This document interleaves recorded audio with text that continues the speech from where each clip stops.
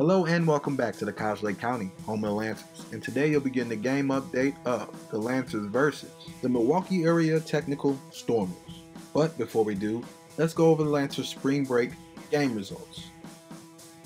With their first win versus the Glen Oaks Vikings, the Lancers brought in 18 runs off of 16 hits and 17 RBIs. Collectively, the pitching rotation gave up 4 hits with 11 runs, 7 errors, and had 10 strikeouts. And now we move on to their second and third win versus the Delta College Pioneers. Within a two game span, the Lancers recorded 14 runs, 20 hits, 11 RBIs, while being struck out 13 times.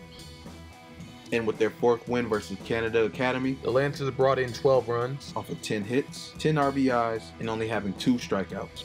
The pitching rotation for this match gave up 8 hits, 6 runs, creating 2 errors, and finishing with 5 strikeouts.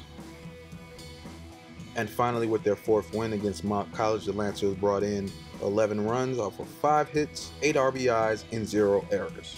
And without further ado, we bring to you the highlights versus the Milwaukee Area Technical Storm.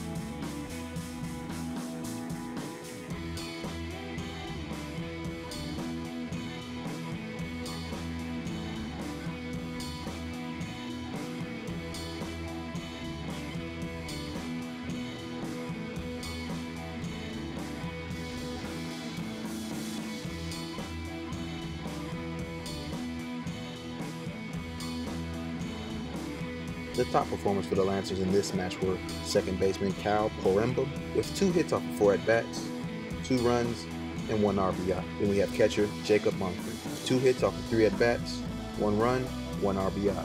And last but not least, we have third baseman Casey Wilson with two hits off of three at bats, two runs, and two RBIs. And for the pitching staff for this match, we had Coy Budwick, who faced 24 batters, who threw 38 strikes out of 63 pitches gave up only four hits, only one run, collecting only one error with three strikeouts. The ending results for this match were the Lancers making 11 runs off of 11 hits with 9 RBIs and only one error.